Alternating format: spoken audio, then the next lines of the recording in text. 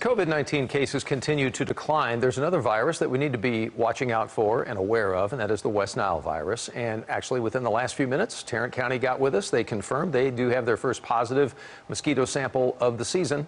Rachel O'Neill now with why health officials are urging everybody out there to be mindful about spending time outdoors from sunset to sunrise.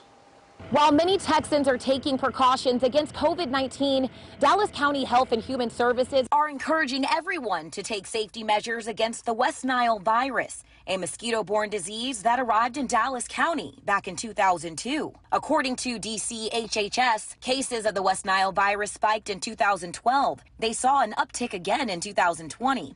If a human contracts the virus, health officials say they could experience severe sickness. Symptoms may include high fever, neck stiffness, coma, tremors, and vision loss. People ages 60 and over are at a greater risk of serious illness if they catch the West Nile virus. Fortunately, there are steps you can take to protect yourself if you follow the four Ds. DEET, uh, which means that we want people, when, whenever outside, to wear repellents. Number two will be to dress accordingly. Uh, whenever outside, we want you to cover your body as much as possible and to wear light colors. Next will be to drain any water that you have around your house. We want you to do that because we know that mosquitoes feed and breed in water. Limit your activities from dusk to dawn. Chrysalis says the West Nile virus is most active during the summertime. So as temperatures begin to rise, he says to continue to follow the four Ds. In Dallas, Rachel O'Neill, CBS 11 News. Rachel